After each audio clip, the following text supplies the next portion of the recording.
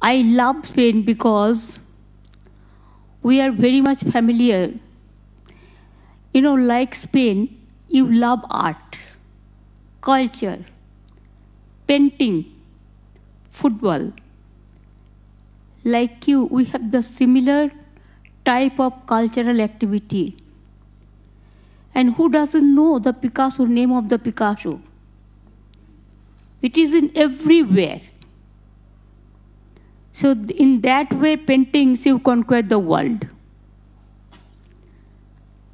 La Liga, everybody knows. And when there is a World Cup football, our all the people they will be watching either Ronaldo or this Messi.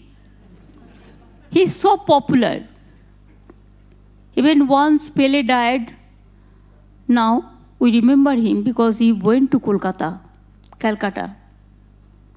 Messi also recently went to Calcutta.